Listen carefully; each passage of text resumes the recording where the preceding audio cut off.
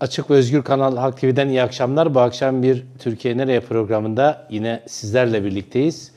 Konuşacak çok şey var, önemli şeyler var. Ancak bir linç kararnamesini Türkiye tartışıyor. Bu linç kararnamesiyle ilgili bugün çok önemli gelişmeler var. Hükümet bu konuda geri adım atmayacağını açıkladı. Özellikle Başbakan Yardımcısı Bekir Bozdağ'ın bunu söylemesi Cumhurbaşkanı Recep Tayyip Erdoğan'ın da aynı görüşü tekrarlayacağı şeklinde yorumlara neden oldu. Şöyle dedi Bekir Bozdağ, yanlış yoktur, düzenlemeye ihtiyaç yoktur dedi. Gerçekten çok tartışmalı bir kararname. Kararname diyoruz çünkü Türkiye'nin e, iç huzurunu ve barışını etkileyecek bir kararname.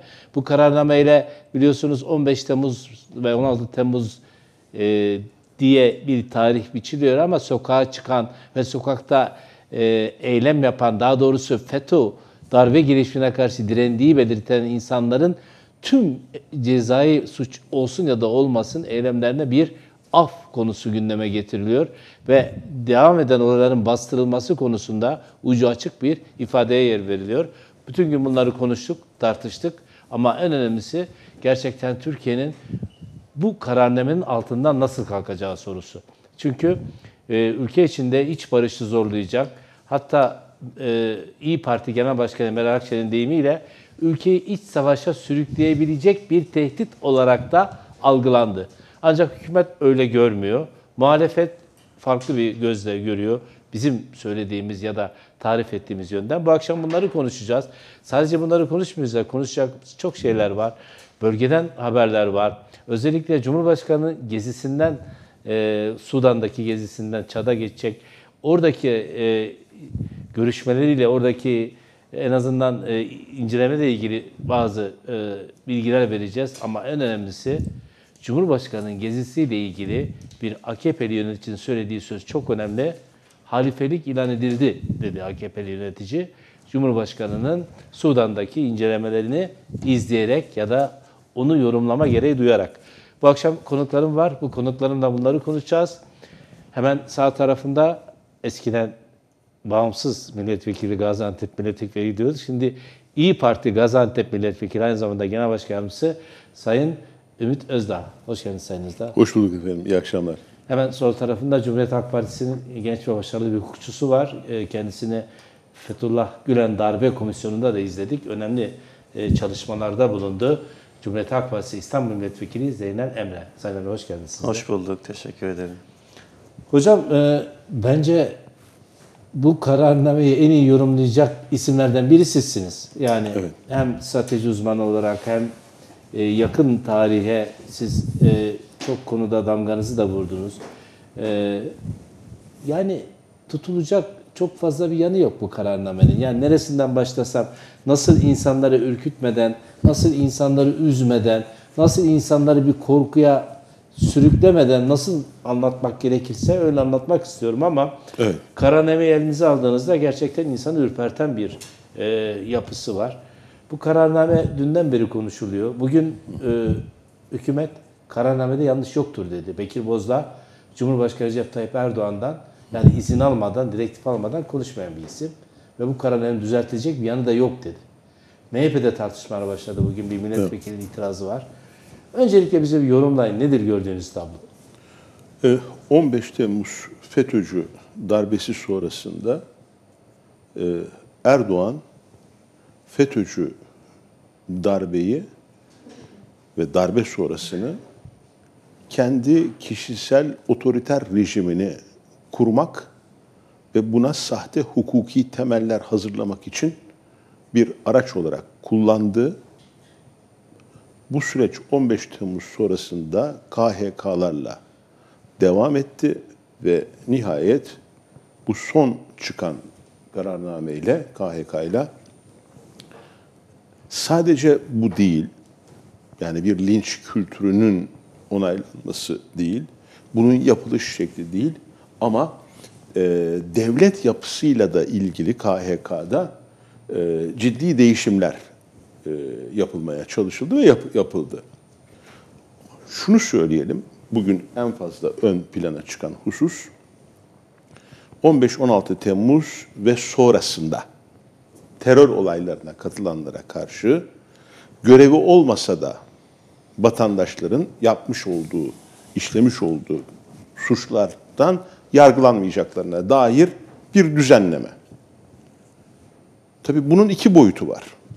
Bir, biliyorsunuz ben terörle mücadele konusunda yıllardan beri çalışıyorum. 1984'ten bu yana e, hemen devlet arşivlerine girelim. Jandarma, polis, asker ve Milli İstihbarat Teşkilatı görevlisi kaç devlet görevlisi PKK ile mücadele sürecinde yasa dışına çıktığı için ve suç işlediği için yargılanmıştır. Değil mi? Demek ki terörle mücadele etmek, bakın terörle mücadele etmek, mücadele edene hukukun içinde kalma zorunluluğu getiriyor. Bu devlet oluşun gereği. Bu devlet oluşun gereği. Efendim işte terörle mücadele... Hayır arkadaş. Devlet güvenlik görevlisini teröristten ayıran ikisinin de elinde silah olması değildir. İkisinin elinde silah var zaten. Birisinin hukukun üstünlüğü ve hukukun içinde mücadelesini sürdürürken teröristin hiçbir ulusal veya uluslararası hukukla bağlı olmamasıdır. Demek ki terörle mücadelenin devlet katındaki gereği hukuka saygıdır. Bu anlamda ilk KHK'da devlet görevlileri için, sonra da vatandaşlar için çıkarılan bu affın, bu bir aftır.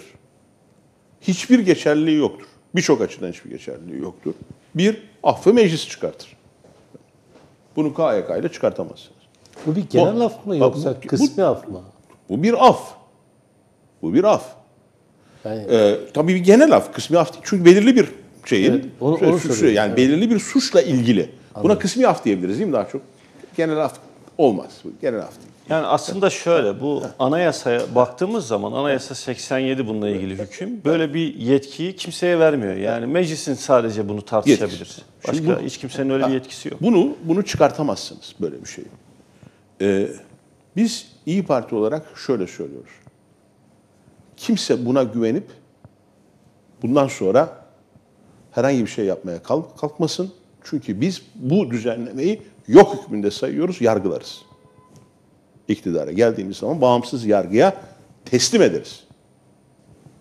Çünkü biz bağımsız yargının kurulmasını istiyoruz, tekrar tesis edilmesini istiyoruz. Ve tabi burada bir başka sorun Anayasa Mahkemesi'nin bu süreç karşısında tutumudur. Türkiye'de bir anayasa mahkemesi artık mevcut değildir. KHK'ları denetleme yetkisi olmadığını söyleyerek Anayasa Mahkemesi, anayasa yargıçları korumakla yükümlü oldukları anayasaya sadakat bağlarını kopartmışlardır. Keşke anayasa yargıçları evlerine gitseler, evlerinde otursalar ve maaşlarını evlerinden almaya devam etseler. Bu da meselenin ikinci boyutu.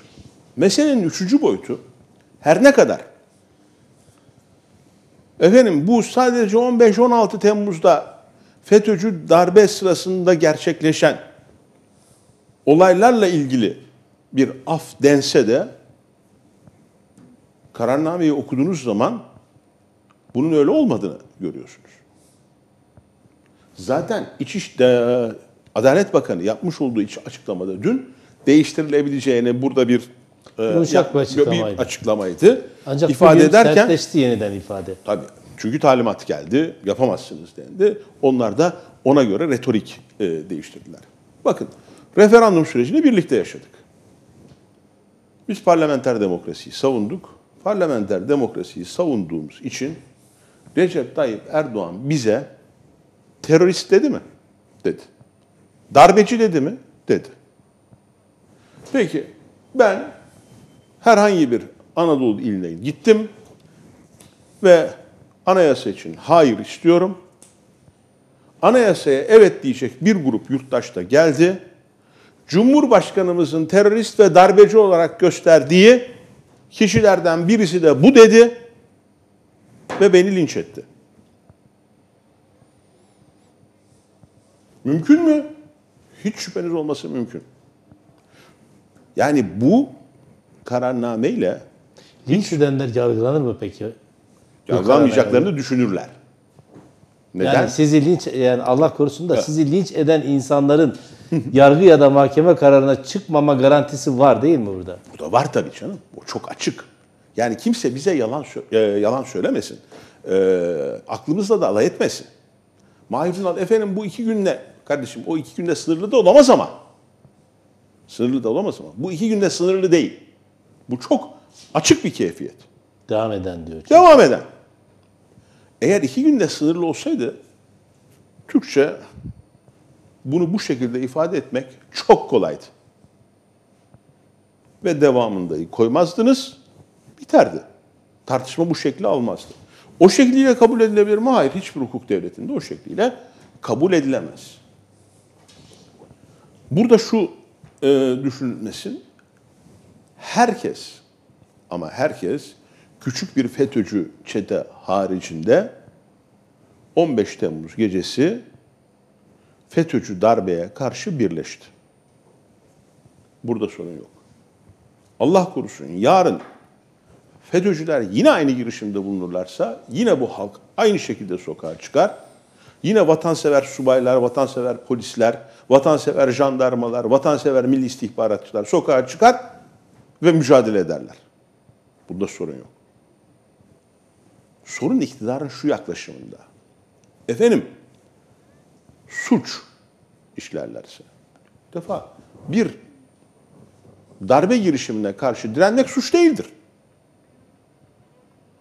Ama direnirken Türk Ceza Kanunu'nun suç saydığı fiilleri yapmak da bu da kabul edilebilir değildir. Mesela Bunu askerin, yapmadan da ne yaparsınız? Direnebilirsiniz. askerin boğazını kesmek suç mu hocam mesela? Tabii suçtur efendim. Askerin boğazını kesmek tabii suçtur. Yani e, Yani e, askeri öldürmek veya sivil bir yurttaşı öldürmek suç. O gece asker, olan dediğin ki asker darbeci. Asker darbeci. Yapılacak şey o darbeciyi etkisiz hale getirmek ve devlet güvenlik güçlerine teslim etmektir. Burada biter diyor. Aslında bakın e, güçlü bir devlette vatandaşın devleti korumasına hiç gerek kalmaz. Bu çok önemli bir şey. Devletin en önemli vasfı şiddet tekelini elinde bulundurmasıdır. Devletin en önemli vasfı şiddet tekelini elinde bulundurmasıdır.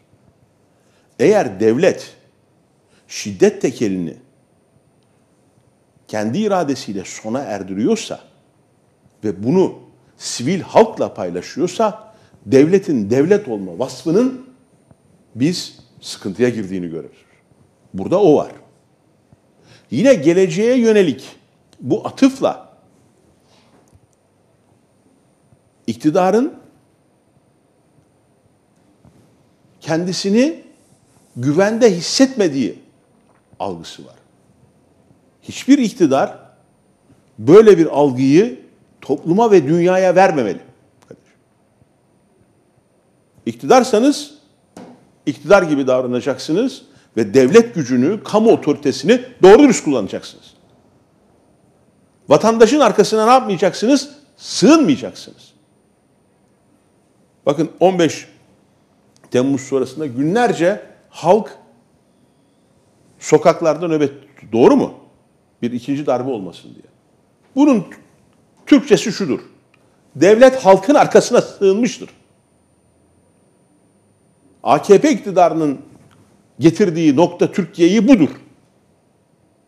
Koskoca Türk devleti halkın arkasına sığınmak zorunda bırakılmıştır. Oysa olması gereken Türk halkının devletin arkasına sığınmasıdır. Devletin koruması ve kollamasıdır. Devlet niye var? Devletin varoluş amacı budur zaten. Biz tekrar ediyorum hem hukukun temel ilkelerine aykırı olan hem anayasada açık bir şekilde Türkiye Büyük Millet Meclisi'ne verilmiş bir hak olan bir hususun bir KHK ile gasp edilmesini ve ortaya düşmanlıklar ve bir iç savaş iklimi çıkartabilecek bu düzenlemeyi yok saydığımızı, kabul etmeyeceğimizi şimdiden açıklıyoruz. Hocam burada bir Bugün Sayın Genel Başkan Aksaray'da bir konuşma yaptı. Evet. Ve haberlerde de görmüşsünüzdür. O da var. Sayın Evet, Akşener söyledi. ve o konuşmasında bu hususun altını özellikle vurguladı. Dün İyi Parti divanı bu konuyu ayrıntılı olarak görüştü. Özetle buradan Sayın Genel Başkan'ın altını çizdiği hususu tekrar ediyorum. Bizim için böyle bir kanun hükmünde kararname yoktur. Ve biz Türk devletine tekrar vatandaşın güvenmesi gerektiği e, gereken bir Türkiye'nin oluşumu için mücadele ediyoruz. Hocam bir şey soracağım peki. Şimdi Türkiye Cumhuriyeti Devleti'nin bir cumhurbaşkanlığı var, bir saray kısmı var, bakanlar, e, danışmanlar var, bir kabine var, başbakan var, bakanlar kurulu var. Şimdi böyle bir kararname yazılırken, Evet.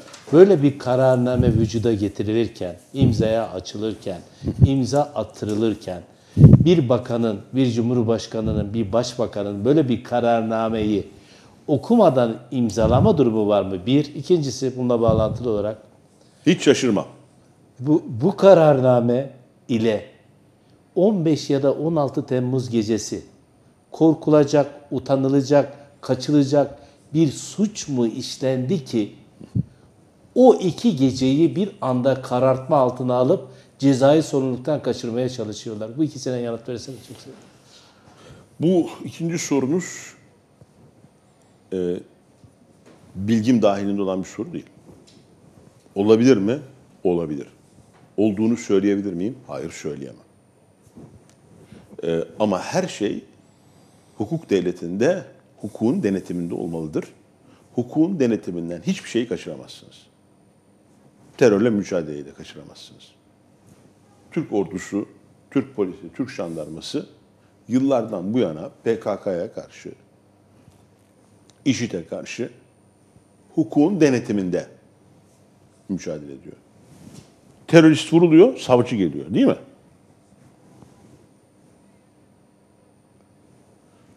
Sadece içeride terörle mücadele mi hukukun denetiminde? Hayır. İki ülke savaşıyor.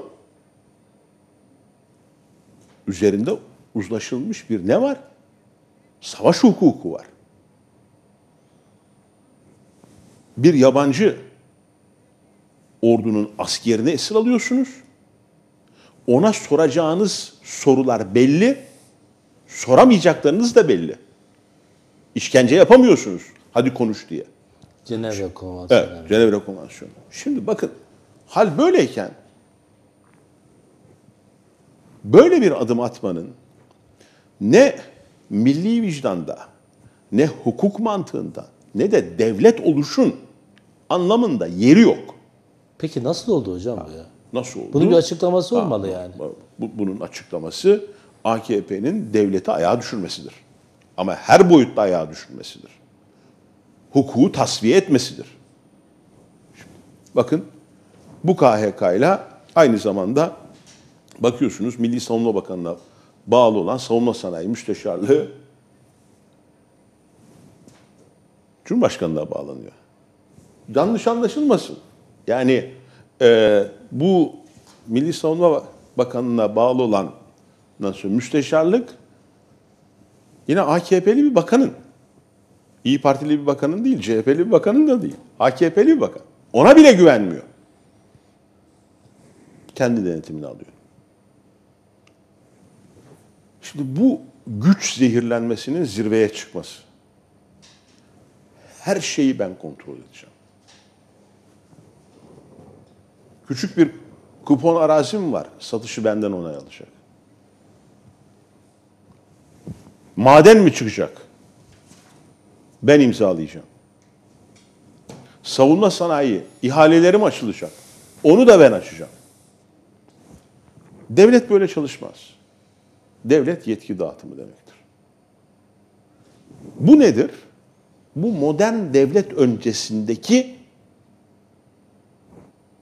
feodal devlet anlayışıdır. Kabile devleti diyorlar mesela.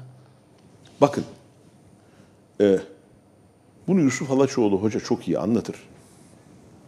Osmanlı'da divanın yani bugün hükümetin nasıl çalıştığını, nasıl yasalar yaptığını, nasıl yetki paylaşımı olduğunu. E, şunu söyleyeyim rahatlıkla. 16. yüzyıl Osmanlı Türk Devleti'nin hukuk ve devlet anlayışı 21. yüzyılın başında Recep Tayyip Erdoğan'ın sahip olduğu hukuk ve devlet anlayışından kat kat ileridedir. Kat kat ileridedir. Ecdat ecdat diyorlar. Ecdadın E'sini anlamıyorlar. Bakın E'sini anlamıyorlar. Mirasının E'sine sahip çıkmıyorlar. Onun için bu KHK'nın tamamı aslında bir devlet krizinin belgesidir. Bugün Türkiye bir devlet krizi yaşıyor. Bu devlet krizini AKP Genel Başkanı ve AKP hükümeti ortaya çıkartmış durumda. Ve bu devlet krizi öyle ağır bir kriz ki ne yazık ki çevre coğrafyalardaki jeopolitik gelişmelerle birleşince Türkiye için tehdit üretiyor. Ama herhalde konuşmanın ikinci bölümünde onu da Tabii, ele alma fırsatımız olur. Tabii sevgili hocam teşekkür ederim. Sayın Emre siz de e, iyi bir hukukçusunuz. Sizin de bir darbe komisyonu beraber izledik. Evet. E, Teşekkür ederim. Sağ olun. Şimdi e, size soru soracağım. Sizin zaten anlatacaklarınız var da Sayın Kılıçdaroğlu'nun bir tepkisi var. Linci yapanlara ömür boyu dokunulmazlık veriyorlar diye. E, o geceyle ilgili bir tanımı var. E, yani o gece linç e, psikolojisinin hakim olduğu ki e, Cumhuriyet'in başlığı da linç kararnamesiydi bununla ilgili. Terör eylemleriyle bunların devamı niteliğindeki eylemlerin bastırılması ifadeleriyle muhalefetin her türlü direnişine saldırı meşrulaştırıldı diyor. Ki haklı bir gerekçe bence Cumhuriyet Gazetesi'nin ortaya koydu. E, Sayın e, Özdağ'a sordum da tam net bir yanıt alamadım. O da haklı olarak bilmediğini söyledi ama e, bir şey anlayamıyorum. Yani sarayın emrinde bir sürü hukukçu var. Ülkenin bir adalet bakanı var, başbakan yardımcıları var, danışmanlar var, hukuk profesörleri var, Şeref Malkoçlar var, öbürleri var. Şimdi Cumhurbaşkanı neden ki onun isteği ya da imzası ya da talimatı dışında böyle bir şeyin çıkması mümkün değil. Bunu hepimiz biliyoruz.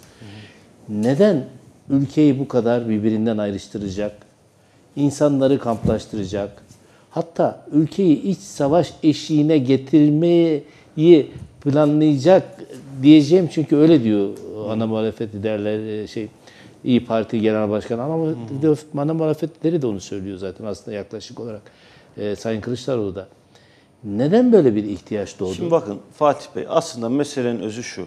Bir devleti devlet yapan en başta hukuktur, adalettir ve anayasadır. Şu anda Türkiye Cumhuriyeti anayasası askıdadır. Türkiye Cumhuriyeti Anayasası'nın ikinci maddesi Türkiye Cumhuriyeti'nin layık e, demok, e, layık e, sosyal bir hukuk devleti olduğunu, demokrasiye bağlı olduğu yazılır. Ama şu anda bu hüküm tamamen askıya alınmıştır. Kim tarafından askıya alınmıştır? Saray rejimi tarafından askıya alınmıştır. Şimdi bu tespiti net yapmak lazım. Biz o halle ilgili eleştiri getirdiğimiz zaman bize diyorlar ki efendim o hal Fransa'da da var. O hal bizim anayasamızın hükmü diyorlar.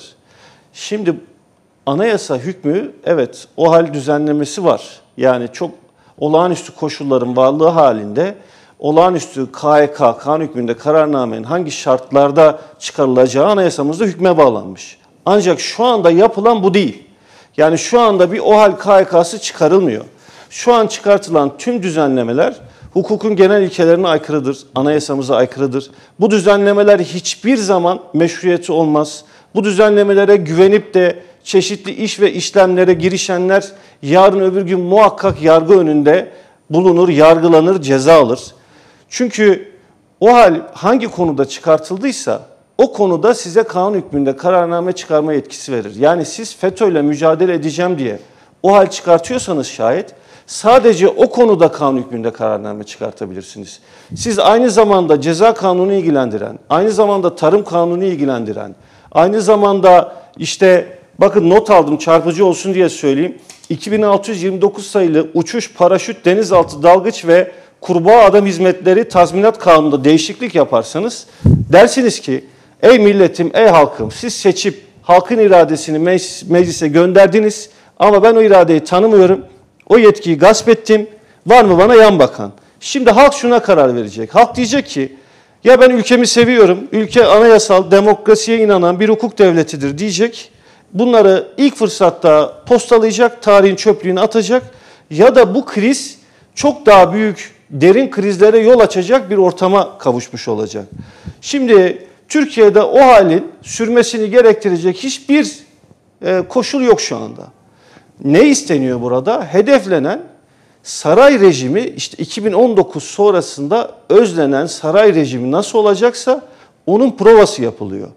Bakın meclisin tatile girdiği günün gece yarısı bu düzenlemenin çıkması aslında şöyle bir anlam içeriyor. Meclisin fonksiyonunu yitirdiği bir şekilde halka örtülü olarak da bu mesaj verilmek isteniyor. İki, özellikle taşeron düzenlemesi gibi bir düzenleme ki taşeron çok küçük bir kısmını kapsayacak şekilde düzenlenmiş. Yani kapsayıcı bir düzenleme değil.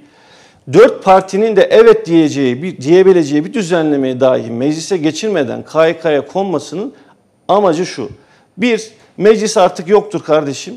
Saray vardır. İki, halka da ya siz çok itiraz etmeyin. Bu hal siz, o hal sizin için öyle çok kötü bir şey değil. Bak sizin lehinize düzenlemeler de çıkabiliyor. Mesajını vermek için yapılan iştir. Bunları doğru okuyup doğru şekilde ifşa etmek lazım. Şimdi çok tartışılan 15-16 Temmuz ve onun devamı niteliğindeki eylemler ile terör eylemlerini bastırmada sivillerin müdahalesini her türlü işte idari, hukuki, cezai takibattan kurtaracağına yönelik hükme gelince de bu hüküm aslında hukuk devletini dinamitleyen bir hükümdür. Yok hükmündedir. Böyle bir şey yürürlüğe girse dahi bir meşruiyeti olmayacaktır. Kimse buna güvenerek bir işlem yapamaz. Burada kamuoyu tepkisi oluştuğunda bunun 15-16 Temmuz'u kapsadığına yönelik beyanda bulunuyorlar ama bu da aslında doğru değil. Çünkü öyle olsaydı sadece 15-16 Temmuz'u kapsıyor diye yazılırdı. Yani buna bir mani var mı böyle yazılmasına? Tabii. Değil. Bu şundan ötürü. Bu mesela biz adalet yürüyüşü yaptık. Bizim adalet yürüyüşümüzü terör yürüyüşü diye adlandırdılar hükümet tarafından. Yani bu düzenlemeyle birlikte bu düzenlemenin daha önce olduğunu farz edin. Bizim adalet yürüyüşünü eline Kalaşnikov alıp tarayan birini cezai takibattan kurtaracağını mı zannediyorlar? Ya da neye göre, kime göre terör eylemi? Şu anda Türkiye'nin kendisinden olmayan kesmini terörize eden bir iktidar var.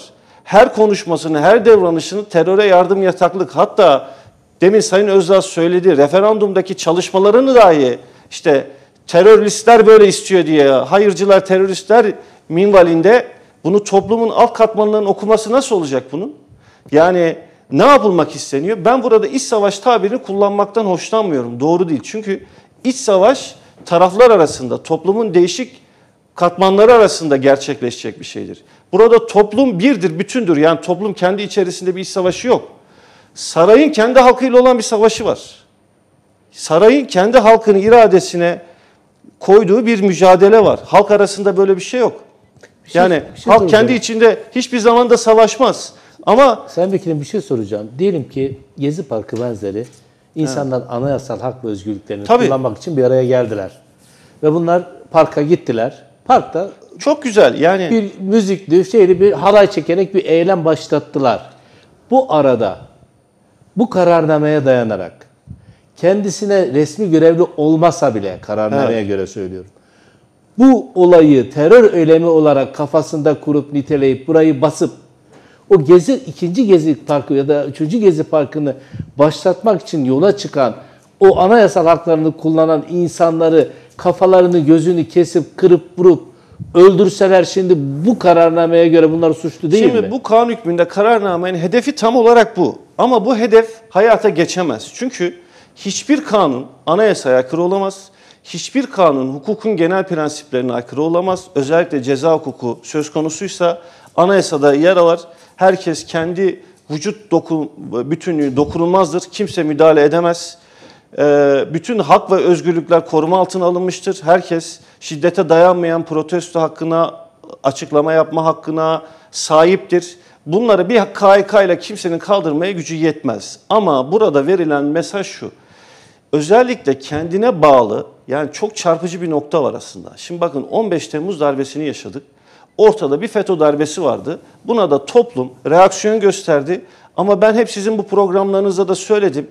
Eğer bu 15 Temmuz darbesi, FETÖ darbesi ni hayata geçiremedilerse FETÖ'cüler en büyük buradaki pay başta Türk Silahlı Kuvvetleri içerisinde olmak üzere polisin içerisindeki namuslu e, subayların, e, memurların e, işte karşı direnişidir. En başta budur ve sonra da mecliste dört partinin ortak bir bildirisiyle bu işin karşısında durması halkı da kenetlemiştir. Şimdi düşünebiliyor musunuz? Kendisini böyle bir darbeden kurtaran bir bürokrasi var, güvenlik bürokrasisi var askeri polisiyle. Aslında ona da güvenmiyor. Kendi askerine yani kendi milyonlarca askeri polisi var, milyonları aşan bir sayı. Onlara güvenmiyor ki. Ayrıyeten bir milis gücü kurma peşinde koşuyor. Yani bakmayın siz şimdi öyle konuştuğuna. Demek ki bizim polise de güvenmiyor, askere de güvenmiyor. En başta kendisi güvenmiyor. Bunu itiraf etmiş oluyor. Çünkü bir insan düşünün emrinde milyona yakın tam tesisatlı, eğitilmiş, donanımlı güvenlik kuvveti var. Buna güvenmiyor. Kime güveniyor? İşte hiçbir eğitim almamış, işte nereden oluştu, teşekkül ettiği belli olmayan çeşitli milis kuvvetleriyle kendini koruyacağını düşünüyor. Kime karşı koruyacak kendini? Kimden koruyacak? Yani bu korku ne biliyor musunuz? Ya bu korku aslında gerçekten şöyle bir şey. Yani eğer AKP buna kurumsal olarak tamam diyorsa AKP çıldırmıştır. Yani başka bir izahı yoktur. Eğer kendi kurumsal kimliği açısından bununla bir itirazı yoksa AKP'li milletvekillerinin bu yapılanlara yönelik tek kelime söyleyeceği söz yoksa çıldırmışlar. Bunlara bizim söyleyeceğimiz başka bir söz olmaz. Sadece biz ifşa ederiz. Bunlar artık bu saatten sonra temiz kudretini yitirmişlerdir. Ülkeye de size de daha fazla zarar vermesine müsaade etmeyin deriz. Ama ben böyle olmadığını düşünüyorum. Yani ben kendilerine oy veren AKP seçmeninin de milletvekillerinin de ciddi şekilde tepkisel olduğunu düşünüyorum. Sadece bir sinmişlik söz konusu. Korkudan ses çıkartamıyorlar. Tıpkı Anayasa Mahkemesi'nin korkudan ses çıkaramaması gibi. Yani hiçbir anayasa hukukçusu bu bu kadar aleni anayasaya aykırı bir şeyin hukuka uygun olduğunu düşünemez değil mi? Ama korkudan buraya ses çıkartamıyorlar. Meseleyi kitleyen nokta da bu oldu zaten. Yani sınırın aşıldığı vakit Anayasa Mahkemesi müdahale etmeliydi. Hukuk devletinin gereğidir bu. Anayasadan aldığı yetkiyle bunu yapacaktı. Ancak bunu yapmadı, yapamadı ve işi bu noktaya getirdi. Şimdi bakın efendim burada özellikle o tartışılan maddeyi düzenleme yapılacak, değiştirecek. Yok kardeşim bunu geri çekmek dışında başka bir şey olmaz. Çünkü toplum bir defa Sayın Özdağ'ın da açıkladığı gibi bunu şöyle kabul etti. Ya ben yarın öbür gün işte tırnak içinde reisin bunlar terörist dediği insanları gidip assam kessem bir şey olmaz gibi algıladı. Toplum öyle, bunu böyle aldı. Öyle satın, Ama mevcut durum böyle bu. değil. Öyle böyle satın, satın alındığı için bir açıklama yapılıp kamuoyundan özür dilenmesi lazım. Ya biz böyle bir şey düzenledik ama 15-16 Temmuz'u kastetmek istedik. Yanlış oldu. Bunu hepten geri çektik demeleri lazım. Öyle bir havaları Çünkü da yok. bakın bana ki. Fatih Bey tek bir tane örnek verebilir misiniz? 15 Temmuz'da darbeyi direnen, darbe karşısında yer alan asker olsun, sivil olsun hangi şahıs yargılanıyor da mağdur oldu? Kim hapislerde çürüldü? Kime yasal takibat yapıldı? Ya o gece ve ertesi gün zaten kim ne yaptıysa yaptı. Yani tırnak içinde meşru müdafada dahi sınırın aşılması cezai müeyyideye tabi tutulmuştur. Yani siz haklı da olsanız bazı hareketleri hukuk yapmamanızı öngörmüştür. Böyle düzenlemiştir. Yani Peki burada sınırın bir şey, aşılması. Burada bir, bir şey soracağım Sayın Vekilim. Sadat diye bir milis gücü evet. var. Bu Cumhurbaşkanı'nın himayesinde kurulmuş, başında emekli bir İslamcı generalin bulunduğu bir milis gücü.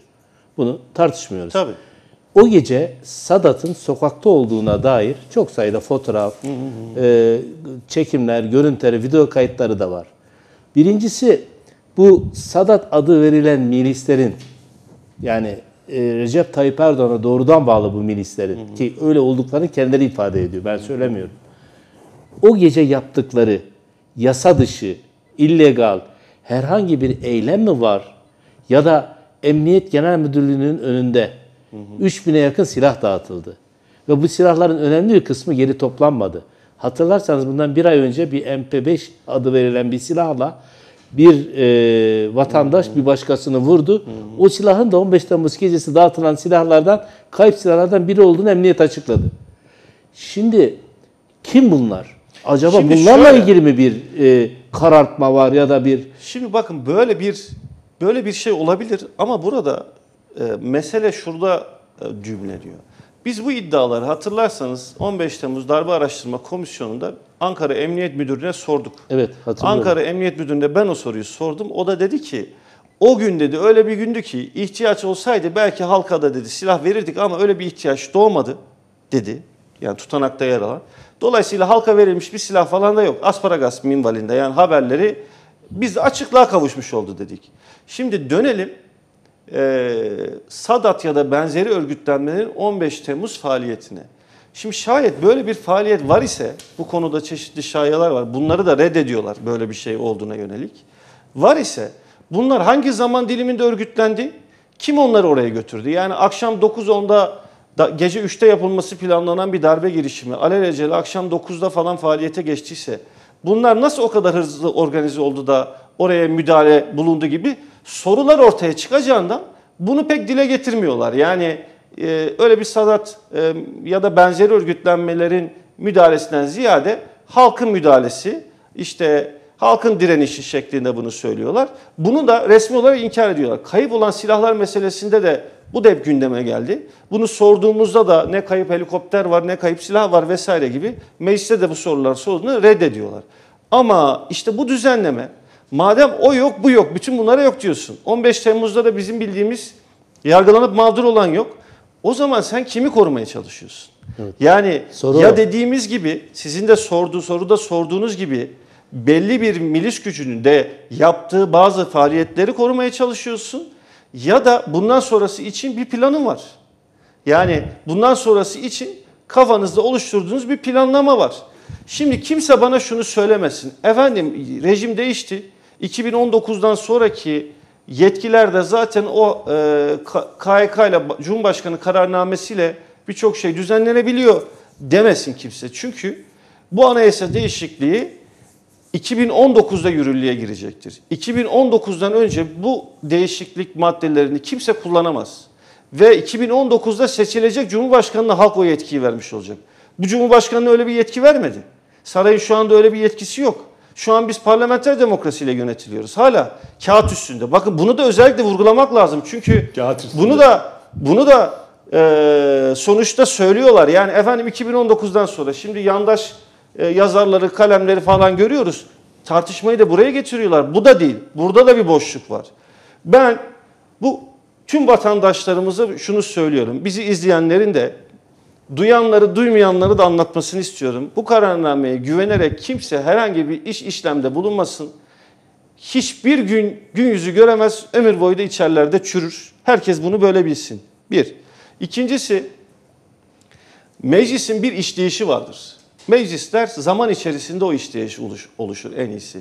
Bakın bir yasayla ilgili, ben Adalet Komisyonu üyesiyim aynı zamanda mecliste. Bir yasa maddesi hükümetten teklif olarak geldiği zaman Önce hükümet bunu kendi arasında görüşür, teklif olarak getirir. Adalet Komisyonu'nda bu tartışılır. Komisyon çeşitli uzmanlar, dört parti, yani bütün partileri dinler, çeşitli uzmanlara sorar, barolardan görüş alırız, Yargıtay'dan alırız, Danıştay'dan alırız, belki medyadan alırız ilgisi varsa. işte çeşit alt komisyona gider, çalışmalar yapılır, değişiklikler yapılır, komisyondan geçer. Muhalefet şerhleri yazılır, genel kurula gelir, görüşülür. Genel kurulda tartışmalar or- orada düzenlenebilir, tekrardan düşünülmüş olur. Çünkü medyaya yansımış oluyor bu esnada. Sonra Cumhurbaşkanı onayına gider. 15 gün o düşünür eksiği gediği var mı diye imzayı koyduktan sonra ana muhalefet partisinin veyahut da belli sayıda imzalı anayasa mahkemesinin denetimini açık hale getirir. Şimdi bir tek yasa maddesinde dahi bu kadar düzenlemenin getirilmesi işi böyle güçleştirmek için değil. Yasa yapmanın önemi açısından bu düzenlemenin bir düzenleme yapıldığında insan hayatı açısından ne gibi yenilikler getirdiğini etraflıca tartışılsın diye. Şu anda İktidar partisi milletvekilleri de tıpkı bizim gibi gece yarısından sonra internete giriyorlar. Resmi gazetede yayınlanan maddelere bakıyorlar. Kendi yetkileri elindeyken hangi bürokratlarla, hangi odalarda, hangi karanlık odalarda, kimlerin eliyle hazırlandığı belli olmayan 50 farklı komisyonu belki işte lafın gelişi dedim 20 tane komisyon var. Bütün komisyonları ilgilendiren meclisteki e, bütün yasalarla ilgili yani hangi mahir el bunu yapabilir? Yani sürekli tek adam tek adam rejimi diyoruz. Ya saray rejimi de çok becerikli de değil. Her şey yüzüne gözüne bulaştırıyor zaten. Hani yapılan düzenlemeler iyi işler olsa da neyse diyeceksiniz. Yapılan düzenlemelerin daha sonra başka bir KYK ile kaldırıldığında da çok defa şahit olduk. Yani bu düzen oluyor. Şimdi bakın bizim yapmamız gereken şu. Kısa vadede Evet. bir kamuoyu oluşturmak. o da önemli. Ne yapılabilir Evet. yani? Kısa vadede bir kamuoyu oluşturmak. Türkiye'de o hal bir an önce kalkmalıdır. O hal kalkmadan Türkiye rayına oturmaz. Geçen mecliste bir konuşma yaparken şunu ifade ettim. Anayasa hukukçuları der ki o hal olağanüstü koşulların varlığı halinde bir yönetim biçimidir. Ancak bu süre uzadığı vakit tıpkı bir komadaki hastanın komadan çıkma süresi ne kadar uzun sürerse normal yaşam fonksiyonlarını sürdürmesi bir o kadar güçleşir ve normale dönmesi imkansız hale gelebilirse o hal süresi uzadıkça da o devletin yönetimi bir daha demokratik hukuk devleti eksenine dönmesi bir o kadar güçleşir. Biz bu süreyi ne kadar kısa sürersek onarımı, tamiratı, restorasyonu bir o kadar kolay daha şey olur. Daha az hasarlı atlatmış oluruz. Kısa vadede yapmamız gereken o halin kalkması gerektiğini, bu KYK'ların hepsinin hukuksuz olduğunu topluma anlatıp kamuoyu oluşturmak, uzun vadede dedim 2019'da da 2019 seçimlerinde de artık AKP'nin Türkiye'ye ciddi bir yük getirdiğini, bunun sürdürülebilir olmadığını, ne kadar severlerse sevsinler oy verdikleri partiyi, Türkiye'den daha fazla sevmemeleri gerektiğini anlatıp buradan kurtarmak olacaktır. Yani ikinci aşaması da böyledir diye Peki düşünüyorum. teşekkür ederim. Burada bir ara vereceğiz. Ancak e, hocama tekrar döneceğim. Hemen aradan hemen sonra dön- döneceğim konuşacağız. Yalnız iki önemli e, paylaşım var. Biri Yalova'nın Çınarcık ilçesine bağlı Teşvikiye Beldesi'nin AKP'li belde başkanı. Vallahi dil ile haykırılmasa da hilafet gelmiştir arkadaş diyor. Bir başka AKP yönetici de Cumhurbaşkanımız Allah tarafından gönderildi diyor. Şimdi aslında bu kararnameyle bu insanların sokağa çıkmasının ne anlama, hangi boyuta geldiğini ikinci bölümde konuklarımızla konuşacağız. Bizden ayrılmayın.